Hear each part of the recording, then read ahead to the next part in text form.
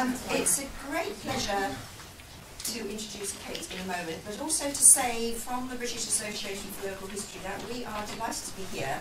Um, the first conference of your organisation is obviously a very important landmark and there's a great deal in common between our two organisations that I think has got lots of potential. Um, and as time goes on, we shall appreciate that more and more, I think. And certainly the sort of topic that you're dealing with today is something that local historians around the country are extremely busy um, beavering away, and it's something that our association has been involved in for some time, and Kate has been a central member of our council in coordinating a lot of the work. So she'll be able to tell you a lot more about that. Um, you can read about her in your programme, um, but just particularly to say that the publications, Remembrance and Community, we have copies of on our table, but also the article that she's written recently for the Institute of Historical Research is available on their website and will shortly be available on ours um, and pulls together a lot of the ideas that are relevant to the topic and to local historians. Uh, so I'm delighted to introduce Kate.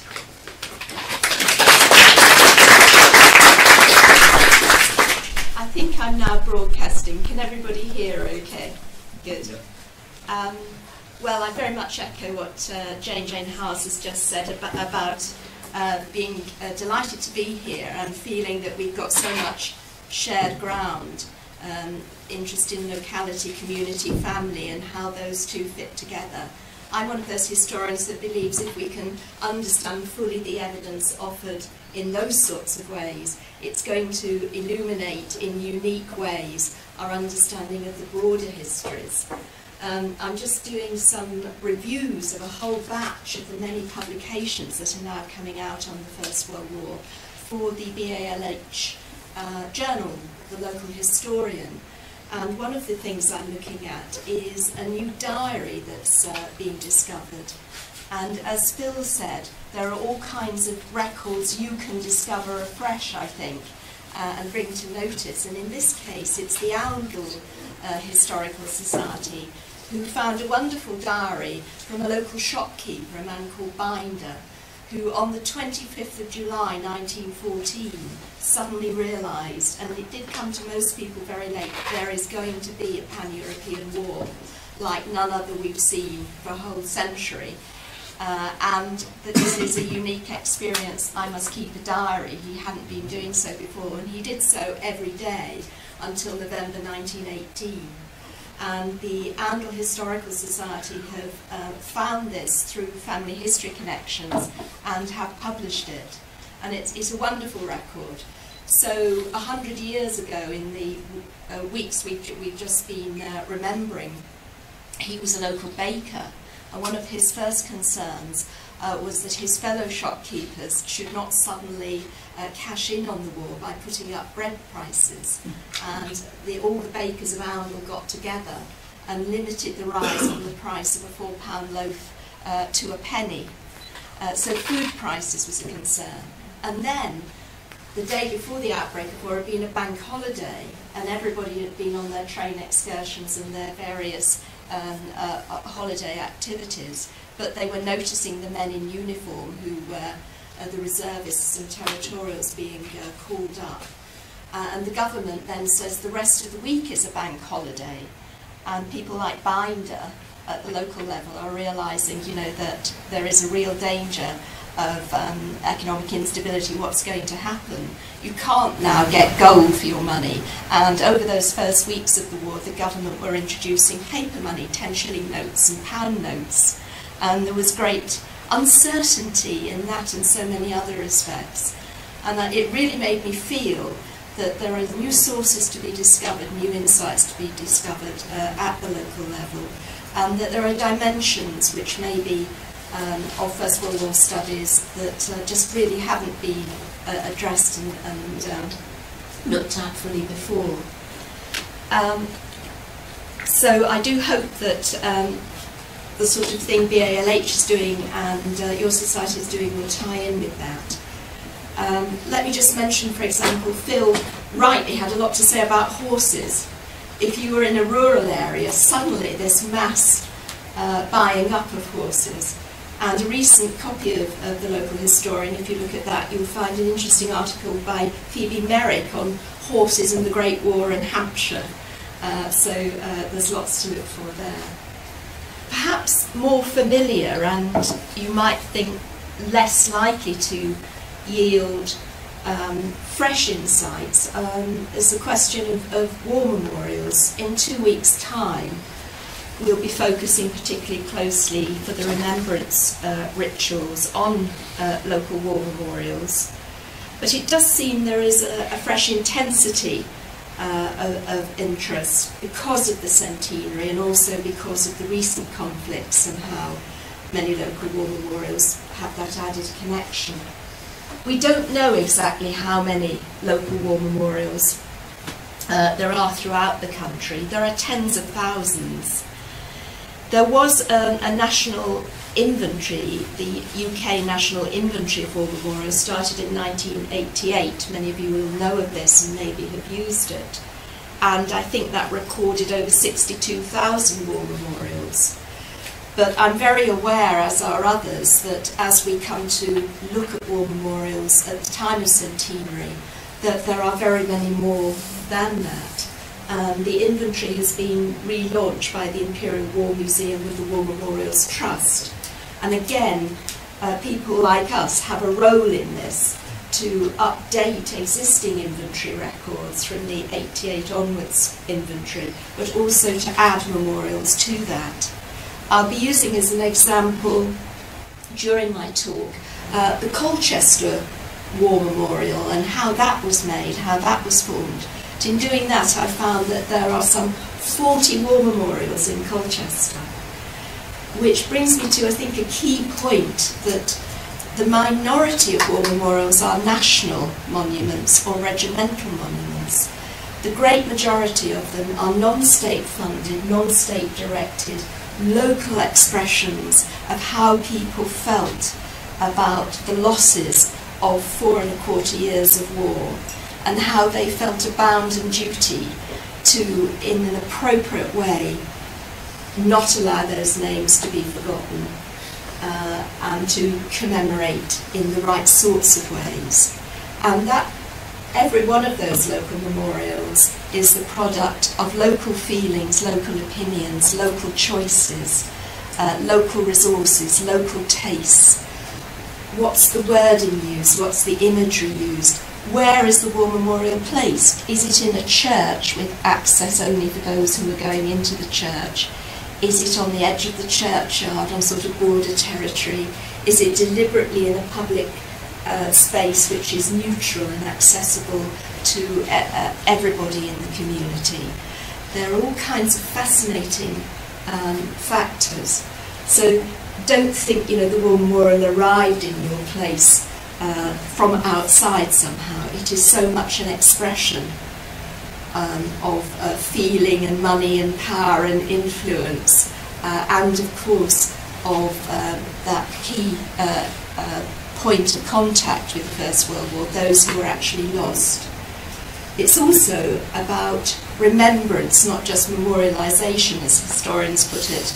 So the rituals of remembrance that grow up around it uh, so it's very much about the people who were left behind.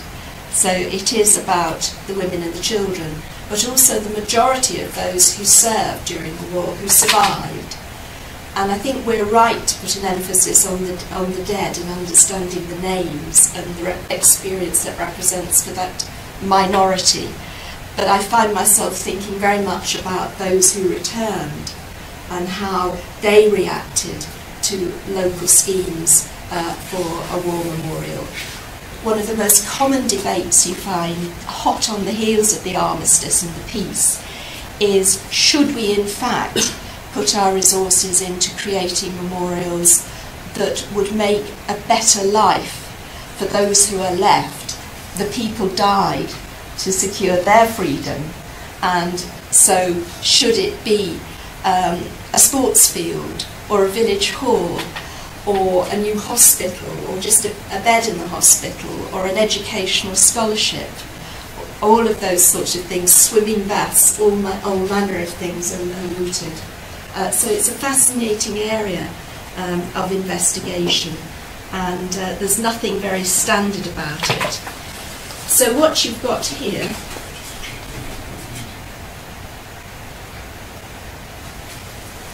Is that different? Yes. I'm sorry. I hope you were able to. I'm not going to say all that again. I thought I'd better say. Um, so let's start with one uh, example of, of the, the, local rootedness um, of, of, war memorials. And some of you may recognise this. This is Ironbridge, uh, very near to where we are now. And the choice here is interesting. Uh, the actual historic iron bridge is immediately to the left here. So they chose to place their memorial in a, a created open space by the Severn uh, uh, Valley Gorge. And amidst the shops and a small marketplace and a local church just opposite. Um, so really at the hub uh, of, uh, of the community. They chose not St George and the Dragon or an allegorical peace uh, figure. They chose the Tommy, the citizen soldier. Uh, and there are some interesting uh, dimensions to local memorials, the sort of democratic character of, um, in this case, the, uh, the statuary chosen, how the names are listed and, and so on, and we look at some examples of that. So here it is the Tommy in amongst the people. Here's the, uh, the large chap uh, sitting on his, uh, uh, his bench amongst the flower tubs. He's just there, he's sort of in the place uh, of the place.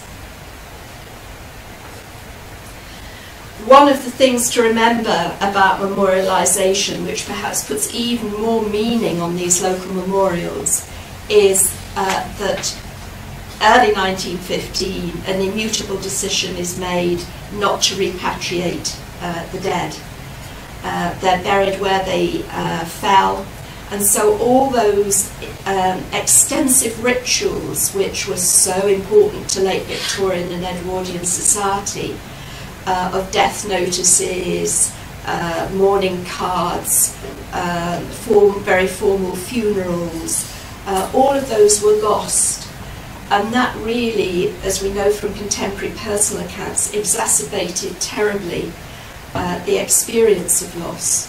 So when you had an opportunity after the war to give permanent expression, a stone memorial a name sort of carved in stone, I think had that added uh, resonance. These are some um, Australian dead, this is from the Australian National War Archive of photographs um, on the Western Front in, I think it's March uh, 1918.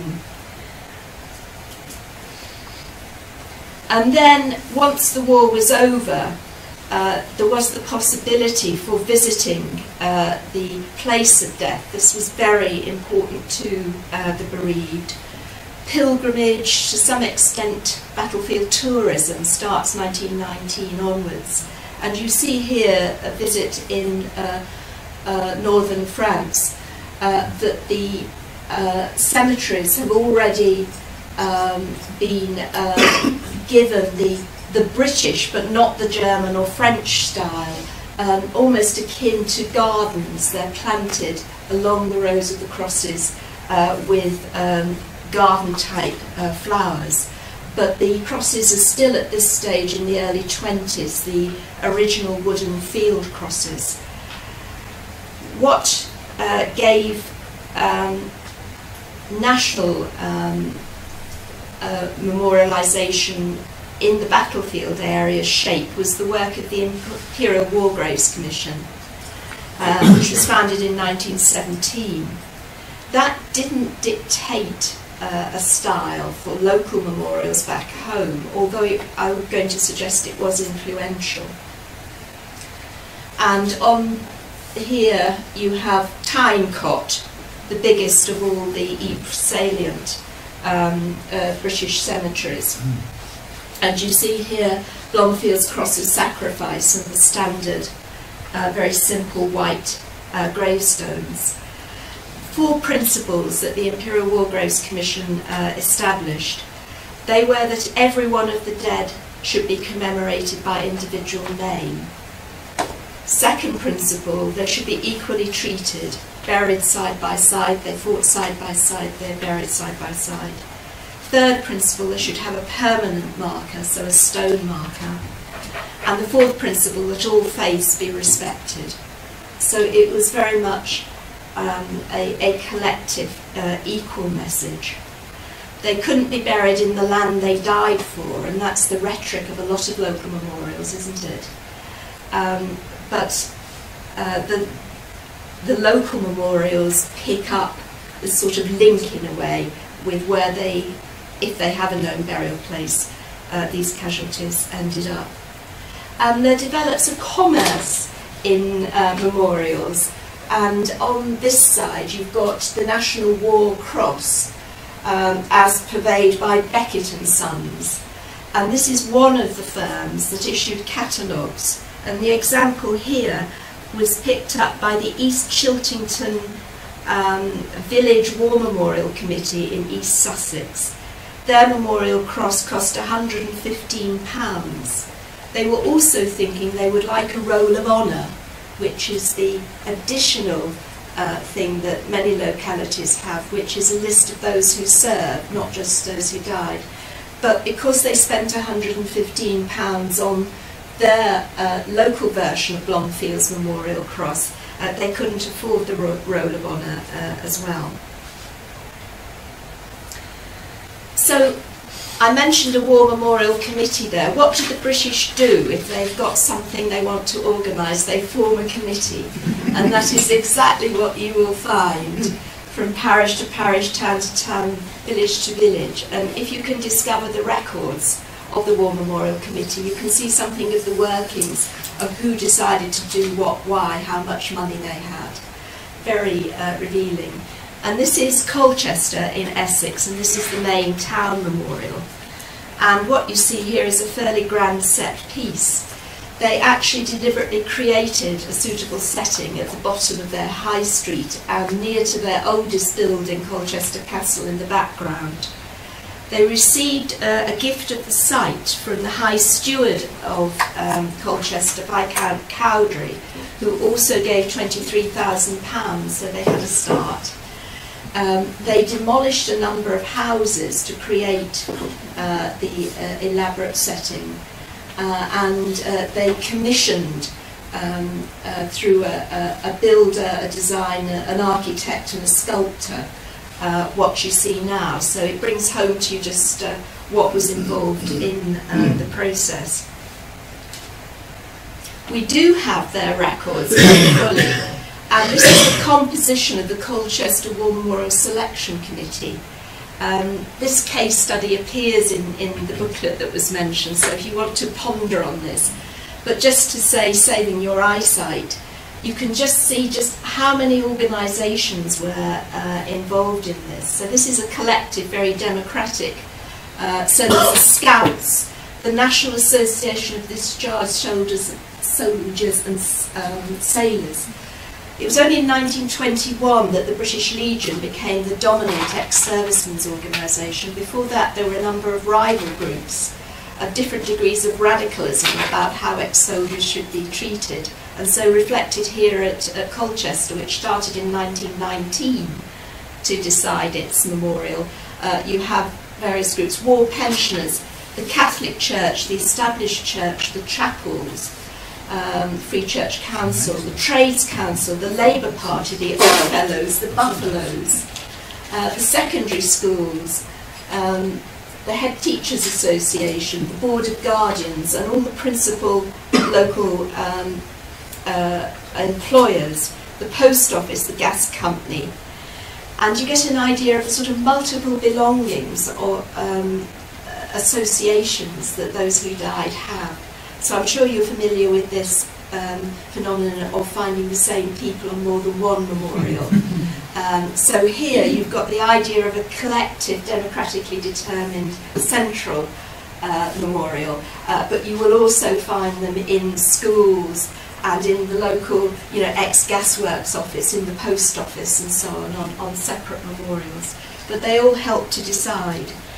And uh, it took a bit of deciding because they had six um, things that were suggested by this committee uh, that uh, Colchester might do. It might build a public baths, have a memorial hall, a new school of art, purchase the castle, build a special memorial building, a new block for the Eastern Counties Hospital, or a monument. Uh, so they went principally for the monument, as you can see, and they uh, had to um, identify the sculptor, who's H.C. Fehr. This, uh, the images were Victory, Peace, and St. George. St. George, the patron saint, uh, religious connotation, also um, good uh, overcoming evil, justified violence, slaying the dragon, uh, it's, it's got a whole bundle of, of suitable connotations, and, and Colchester had those Victory, Peace, and St George. Um, this um, uh, example from Colchester um, was reused uh, again in Eastbourne. Uh, so, as I say, there's a sort of whole industry, I suppose, memorialisation that goes on. The wordings are interesting, aren't they? So, to the glorious memory of the men of Colchester who fell in the Great War. They strove for peace, they served for freedom, they died to live. And very much this rhetoric still in the great War Memorial Building years, which are 1919 to 23, the great majority of memorials were created then, in those days, still this firm conviction that they died to live, they died for freedom we're not really yet into the more sceptical and sinister, uh, um, cynical reflections on, on the First World War. And then interestingly, to the honour of the men and women of Colchester who stood for king and country and bearing arms all by their work, helped to win the war. We talked a bit earlier about women's role in the war, and here's an early acknowledgement of it. Thanks be to God who gave us the victory. It's a widespread phenomenon, as you know, for the 1914-18 memorials to be pressed into service again for the Second World War memorialisation and even for later ones. Colchester is a garrison town, of course, and you can see here to the members of the armed forces uh, killed as a result of terrorist action since the end of the Second World War. And for the Second World War, and to the honour also of those who worked, uh, served and died in the further war of 1939-45. That's a bit muted even for the further war, it sounds like an adjunct. Um, but maybe you, you would think about why there weren't separate uh, memorials for the Second World War, which was an enormous period of loss, maybe proportionately fewer killed, but the, the impact of those five years of war.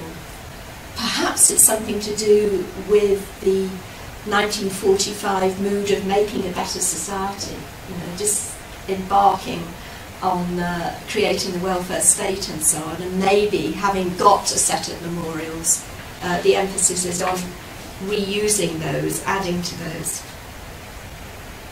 And the ceremonies local ceremonies for unveiling, inaugurating memorials, also an um, important piece of evidence. And at Colchester, they finally got around in 1923. It took several years to create that spread I've just shown you.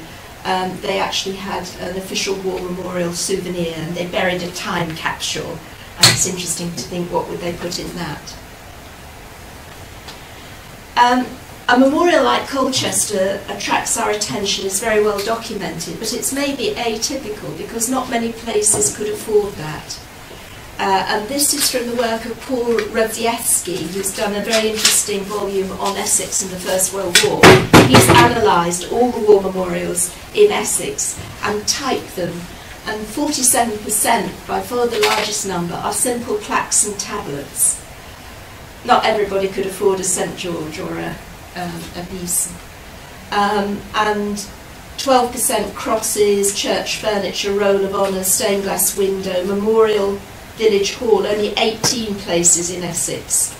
Um, uh, and uh, this breakdown again is in the book, rather interesting. So very often we'll be looking at something uh, much more modest.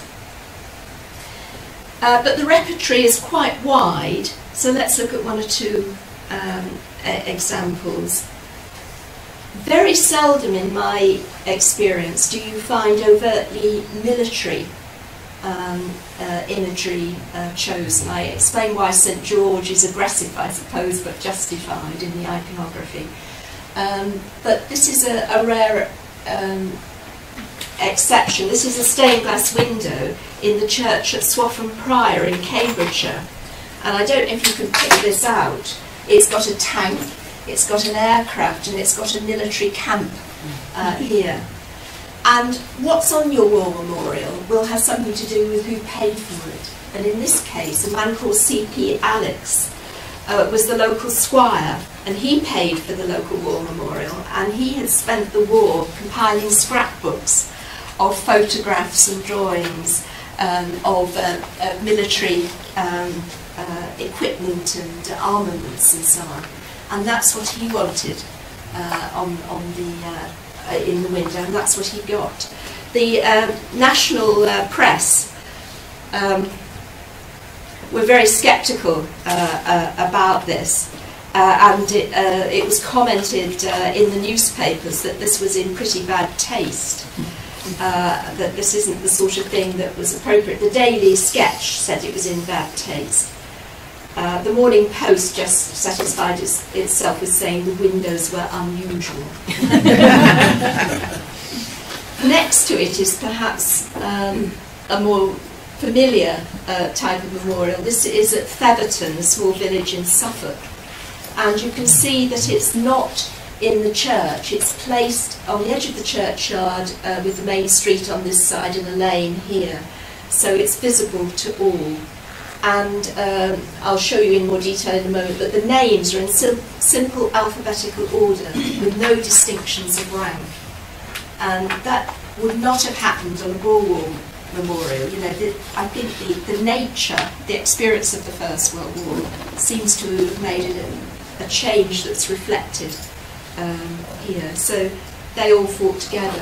But in the church itself, uh, there is this stained glass window uh, to, um, let me get his full title, um, Lieutenant Colonel Charles Doughty Wylie. and he won a Victoria Cross and died at Gallipoli. he had served in earlier imperial wars, and he was a landowning member of the uh, community. So there's this individual, St George and the Dragon, with rather uh, incongruously this portrait head of the elderly colonel, middle-aged colonel uh, in the church, but the collective memorial is this one. And when I look more closely at this, Doughty Wylie has a whole line, but that's only because he's hyphenated and he had to go on name to get on one line. Everybody, uh, you know, and he's in alphabetical order, and that name there is A. Button. And when I looked in the extension churchyard, um, at uh, Theberton, I found this very modern gravestone, and my eye was drawn to it by the poppies, so you think First World War. And here is Alfred Button, listed here. Died 16th October 1918, aged 35 years. And the other two names are Donald Button, born 9th of October 1916. So this man was one week old when Alfred Button uh, was killed uh, he, di he died only in 1996, and his elder brother, who would have been three years old, born 1913 when his, their father was killed, died only in 2008. And the family choice there was to add the poppies and this line, father and sons united. And so I would never look at a war memorial just alone. You know, there's Doughty Wylie's stained glass and there's the Button brothers in the extension churchyard and one gets some idea of the social reach of the impact of the war and also the chronological um, spread too. War memorials in all kinds of places. This is one that was um, done by a particular firm, so lots of private memorials, and this is a particular area to try and preserve and record if you can because things like those for particular firms or a school and things, they can actually be scrapped or moved around. And that's what happened to this. Packard and Company Limited um, are at uh, Bramford, near Ipswich in Suffolk. Uh, they uh, manufactured um, chemical fertilisers, now part of, subsequently part of ICI. And uh, the Miss Packards, the daughters of the owning family, they created their own painted war memorial to all those who served and all those who were killed. And their culture is not the collective public memorial, uh, but perhaps you can see it's divided, their world was divided into staff and men, white collar and blue collar, and it's very much listed uh, by order of rank. Uh, so here's a war memorial that uh, evokes a very different ethos.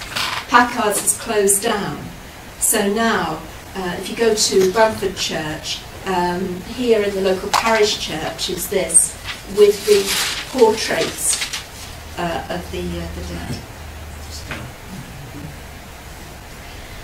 Who pays for it, who influences it, uh, is shown here in a very fine uh, war memorial at Stanway in Gloucestershire. If any of you have ever driven down from Stow on the Wold towards Evesham, down that very steep scarp slope down the main road, it's just on the right.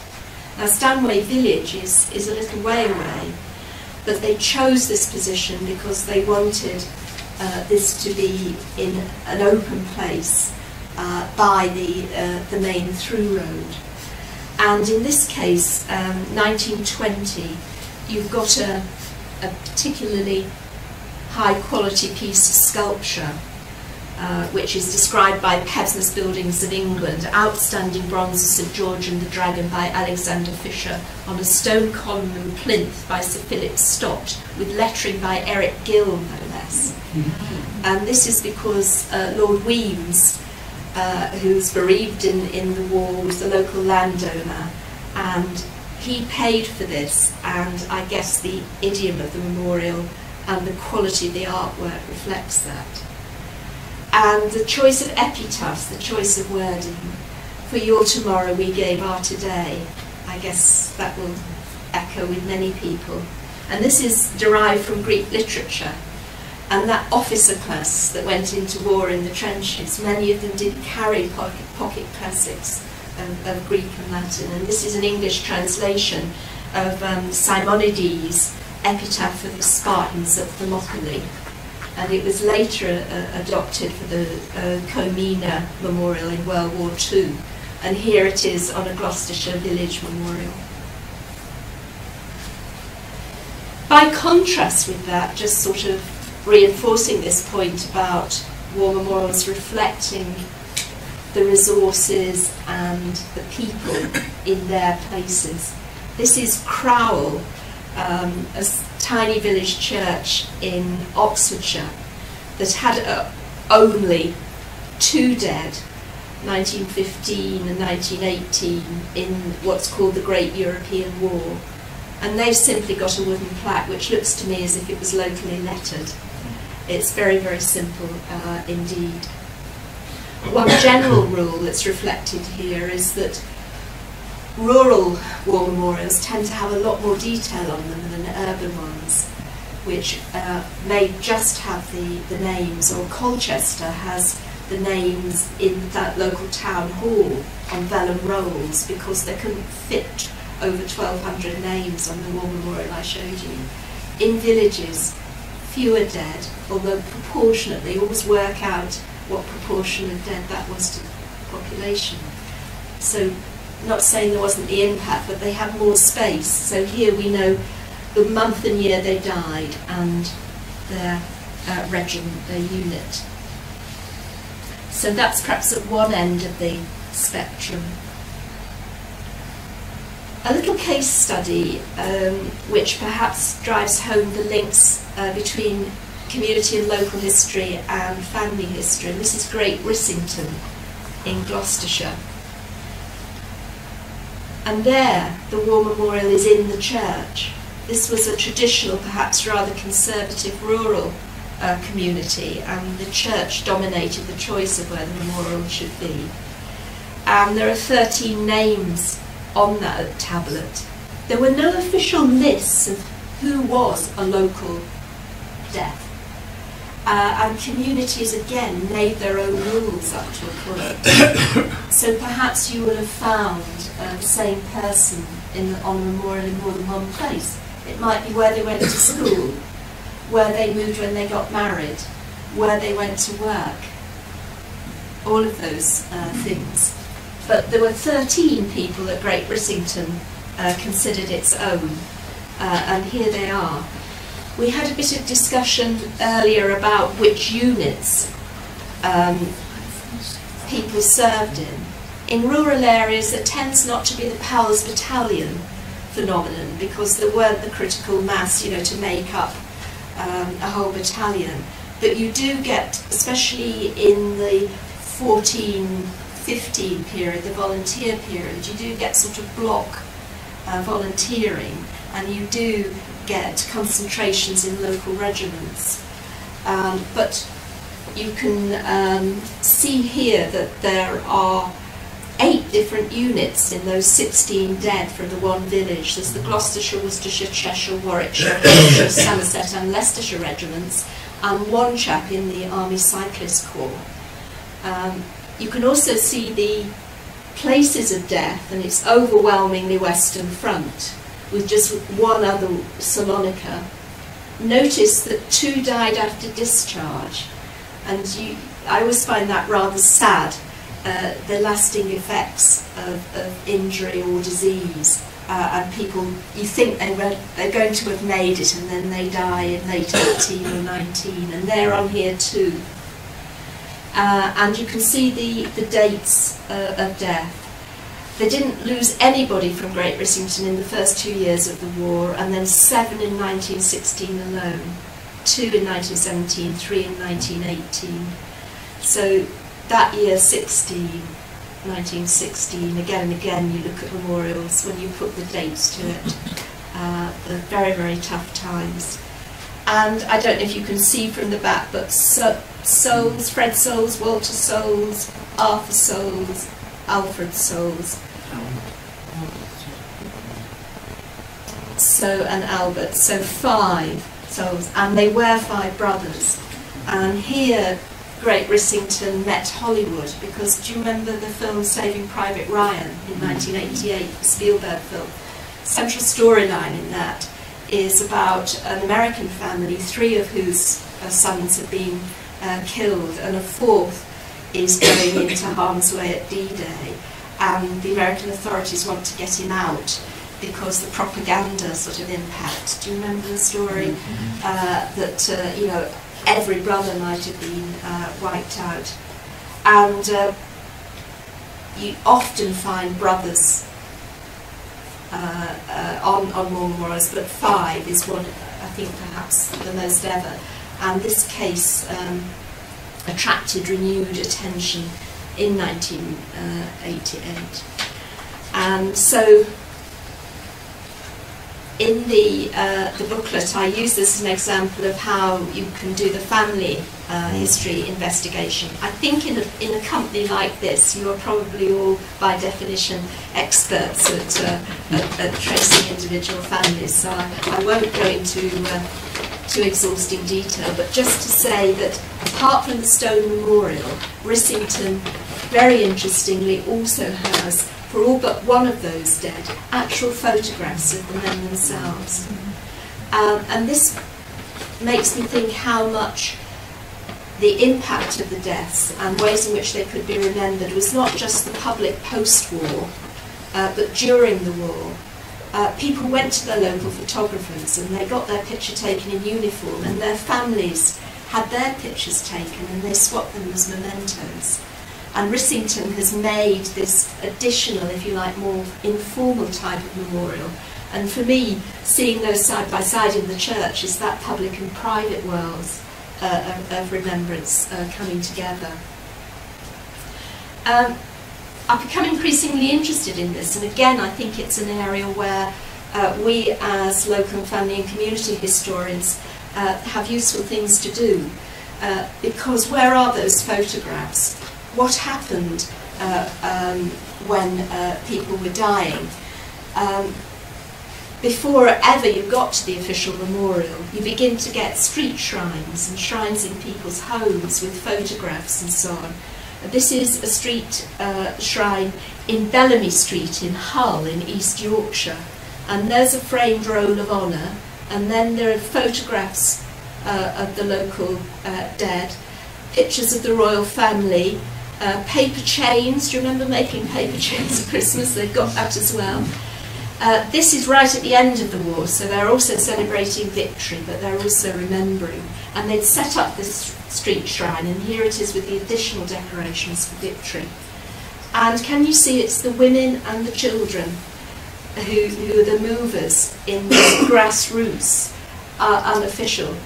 Um, churches and, and officialdom had a bit of trouble coping with this because it was a bit spontaneous and not always aesthetically very pleasing and it was outside their areas of influence. But I think it's very significant and I think if you can collect um, uh, photographs, uh, recollections of, of um, shrines uh, like this, a rare example is in St Albans in Hertfordshire, some of you may know it. Um, they, um, uh, street corner shrines which were put up during the First World War still exist and here are three of them. And this is really laying clay. This is um, Bardwell Rose, own dead, uh, commemorated. But here is one of the Rissington dead, Walter David Souls, private in the Worcestershire Regiment, died in 1916.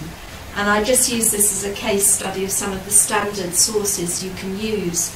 One thing that that threw up was using the uh, Commonwealth War Graves Commission was that they got on this uh, memorial the wrong date. He in fact died in August. So do cross-check, do triangulate your sources. The other thing I found by looking at local newspapers was how much they, um, as a sort of proxy for a proper burial, uh, they'd put in death notices, and at Great Rissington, for every one of their dead, they had a memorial service, which for all other purposes was like the funeral service they would have had. They rang the bell, people came, there were flowers, uh, there were little uh, sympathy cards printed.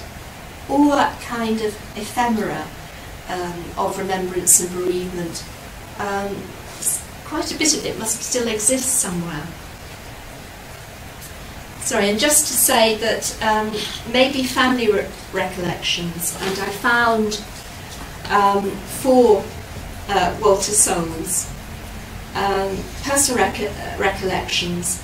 Would you believe Saga magazine in 2001, having found the story of the five Souls brothers, uh, went to Rissington, and the daughter of the brother's sister Kate recalled village gossip that said their mother Annie must be well off with so many pensions for unmarried sons.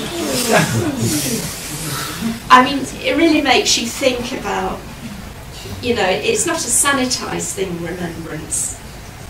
This much, much distressed their mother, it would. Mrs. Souls, the mother, kept a candle burning in the window of the family cottage in the hope that Fred, whose body was never found, might return. That's another thing. And thirdly, from these recollections, she wouldn't stand for God Save the King because she blamed him for the war. Lost five sons. But the, that's been reproduced actually in a number of subsequent articles that the Western Front Association have published on, on, on the souls of Rissington. But there actually is a second sentence that reminiscent. She wouldn't stand for God Save the King because she blamed him for the war. She stood just once at my school, that's the niece's school, so as not to embarrass me but it was painful for her.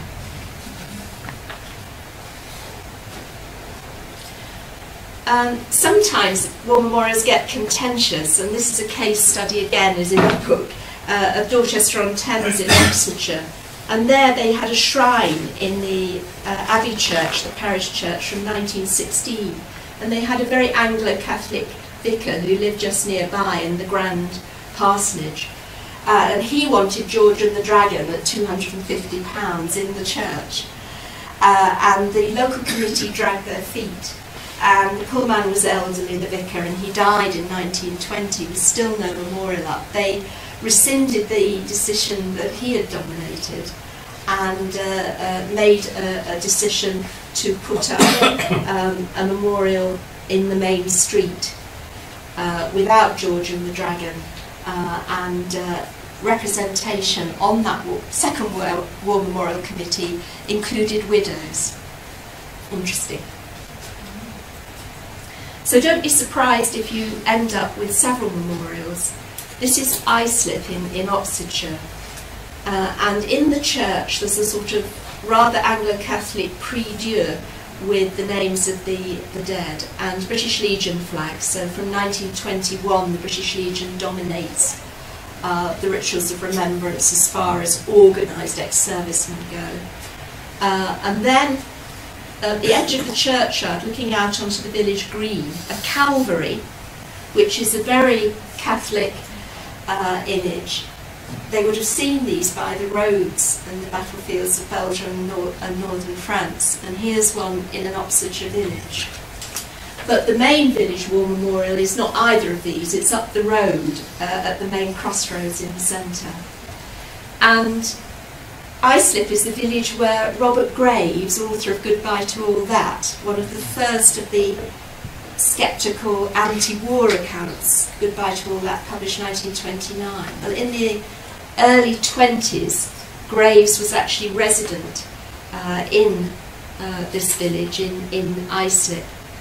Uh, and uh, he served as a Labour member of the parish council. I think he was the only Labour member, it wasn't that sort of village. But he recollects that the servicemen coming home from the war um, didn't uh, think they'd got the, um, uh, the best deal uh, always. They wanted um, a recreation ground. Uh, um, but instead they got these sorts of memorials. Just seeing if I can uh, find you some direct words from the man himself who reflected on uh, Islip. The essence is that he was asked to contribute to a Remembrance Day service in the church by the rather liberally minded vicar, and he read the Siegfried Sassoon poems uh, about the dead rotting corpses rotting in the trenches and so on. Um, this was met with some outrage, except by the uh, the parson uh, himself. Uh, but Graves claims that although the king um, called on ex-servicemen to wear their medals with pride, their campaign medals with pride on remembrance occasions, they wore them, but they put them under their raincoats.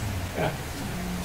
So a slight bit of contested ground when it comes to the rituals of remembrance that went with the memorials once they were established.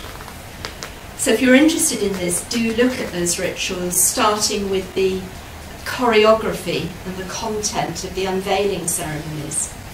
Um, this example is from Pitsford in Northamptonshire. Uh, and you can see there's um, clergy, the church wardens with their staves, uh, a senior military figure, uh, a Union flag. Uh, but most of all, this row here, the older men, the women, the children. These are the, the bereaved, the families ready with their wreaths to lay. And there's usually a newspaper report or a commemorative brochure that will tell you what hymns were sung, who spoke, sometimes who said what. You know, what justification is being given, what is the spirit, how are we understanding the, the sacrifice. And then through the 20s, this is Snape in Suffolk, 1929, uh, the repeated rituals. So here's Snape War Memorial, the main road is closed. Here are the slightly flapper, the younger women generation left behind perhaps, uh, plus the clergy and the standards of the ex-service organisations the context in which the war memorials um, are used subsequently, of course, is, is, um, is interesting in itself. And I'm just going to finish now um, with uh, a small number of examples of that. So this is Ireland. Have you ever thought about war memorials in Ireland? Uh, this is at Pettigo, which is on uh, part of the villages in County Fermanagh and part in County Donegal.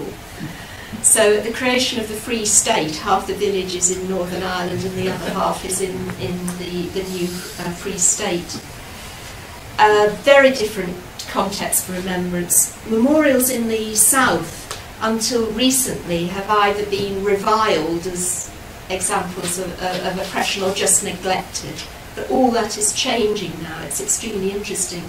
Whereas war memorials in the north have other significances loaded on them, don't they? The Ulster Division of the Somme and so on. Their testimony to the unbreakable links with Britain and the shared um, uh, sacrifice. So here are the memorials of Pettigo in that context. This is the All Ireland uh, First World War Memorial, the Great War of 1914-18. And then just down the street there's this, which is a memorial to four local Republicans who died, I quote, fighting against British forces in Pettigo in 1922. But I guess most of our studies won't be of, have been of that kind. Uh, and here is Aldeburgh in uh, Suffolk, which some of you I think know. Um, this is now four memorials in one. It was unveiled in 1921 uh, it wasn't uh, located in the church. There was a war memorial done by the bereaved father of one of the Garrett family, a dominant family in that part of Suffolk, that had been unveiled before the end of the war, actually in the church, to his son and other local dead. But when it came to the collective memorial, they wanted to be down on the seafront by the Moot Hall, their principal civic building, and there it is. They had an exhibition of possible designs, local people had a say in uh, what was um, uh, erected, and they also opened an institute, a sort of club, where ex-soldiers could uh, go, where there was a library, newspapers, and somewhere to smoke and so on. So it was a two-part um, memorial. And uh, on this memorial there are 83 men and one woman, a nurse, overwhelmingly army dead, there's somebody from the New Zealand Expeditionary Force, have you found that? Where a lot of emigration from British communities to the Dominions, to Australia, New Zealand, Canada in particular. These are the young men who came back to fight for the mother country uh, during the First World War, and they are regarded as local dead, and they are honoured in the place of connection. So we've got that. What are the other three memorials? This is now the Second World War, 25 killed in action. So that ratio, 84 to 25, is not untypical, I guess. Then there are 23 men and three women who died as a result of war, op um, war operations. This was a training area, a coastal area. Uh, they blew up a whole lot of landmines by mistake on one occasion, for example, accidents, training accidents. And the, uh, the fourth one is to civilians killed by enemy action. The local post office had a German bomb um, uh, dropped on it in 1942, I think. So this has become a collective memorial now to more than one war and to civilians uh, as well as, as military. And it's here now that the Remembrance Day service. It's very funny actually reading uh, uh, around the rituals of remembrance. Do you, any of you know examples of this where people fall out uh, as to where the uh, remembrance services should be? They do gather here now every November. They then march up the hill uh, to uh, a service in the church. So my final image, whenever I look at a, a war memorial and I find myself looking at them more and more, there's a tremendous amount to be found out and interpreted. Uh, by all means, look at the names of the dead and look at their biographies individually. But if you look at them as a group, if you look beyond them to those who served and those who came back, if you think about their families, and as Phil told us what was happening in these places during wartime. So here is a 1940s photograph from Clipston in Northamptonshire. This man, I guess of an age to have served in the Second World War, is contemplating his local uh, First World War memorial for England, home and beauty. Is that what they died for? That's what Clipston decided to put on its memorial. Thank you.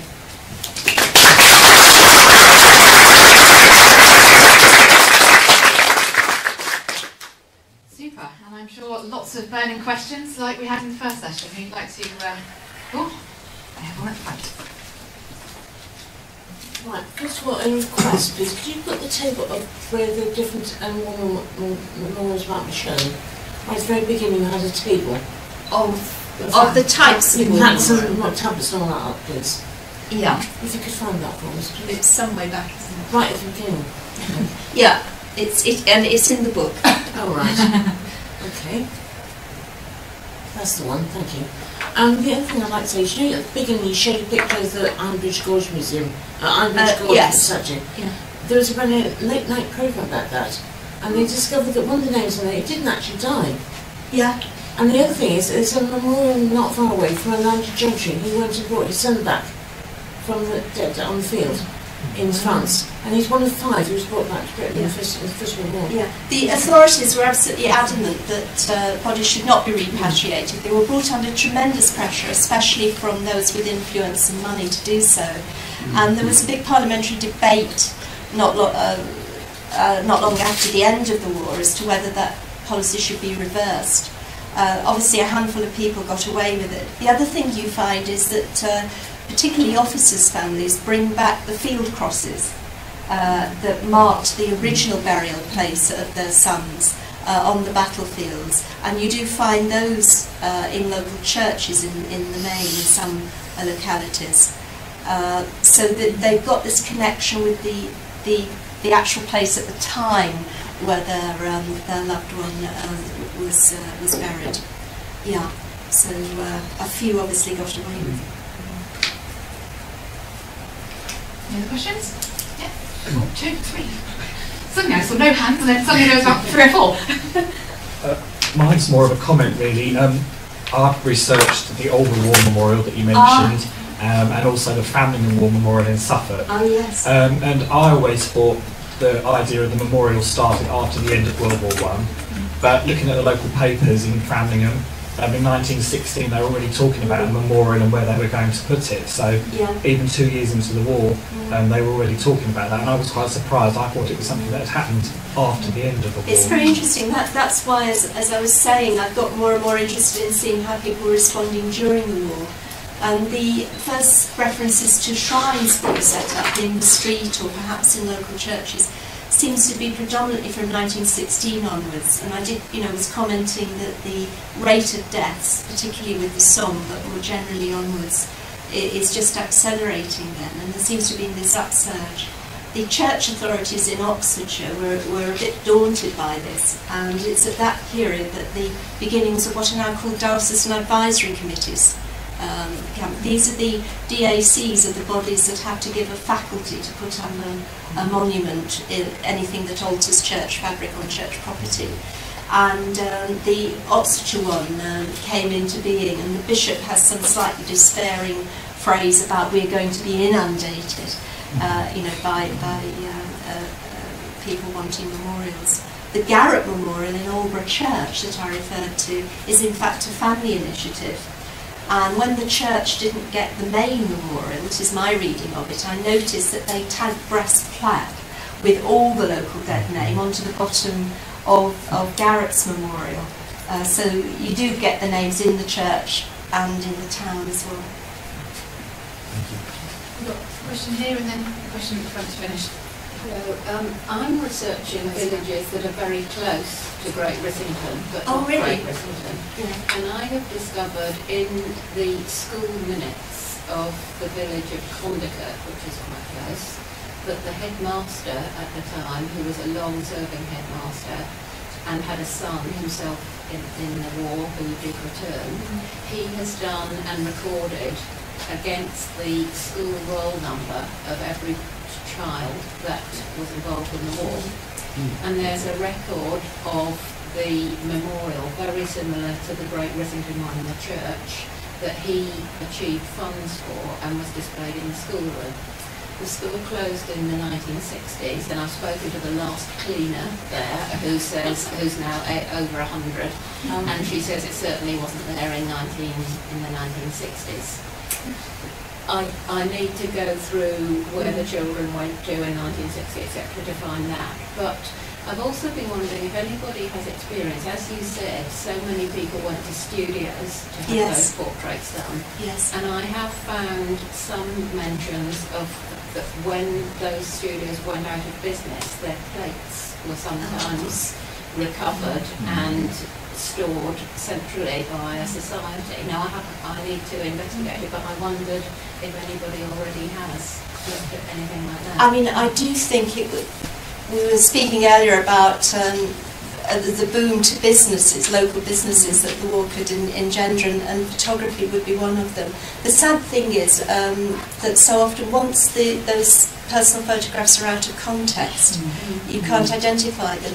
I've got a relative who was a clergyman in Manchester during the First World War, and I've got a collection of, of photographs that came down from him, and there are all these haunting faces of young men, and sometimes um, working class Lancashire young women with their children in their best hats, sitting on wooden chairs, you know, with a backdrop. And I don't know who they are, uh, but I think that was almost certainly the context in which those photographs were taken. We've got one last question here. I gave everybody one of my little leaflets about the Barnsley War Memorials project, and I'd just like to reiterate what Kate said. The survey in the 80s produced 74 war memorials in the Barnsley Metropolitan District. In the last year, we've increased that number to over 450. Wow. Um, so there are a lot. They can also, if you follow the definition that's on the Imperial War Museum site, they can be anything from a tablet to a table and everything in between. Um, so when you go into a church, don't just look at the windows and the memorials. Check out the crosses of procession, check out the pulpit, check out the tables, check out the pews, everything, and you will find names and details that will be invaluable in doing your history of your local area. Brilliant. Thank you. Just before Kate literally runs off stage, uh, she's very acutely aware of the timing. Um, a big round of applause for Kate. Thank you very much for that.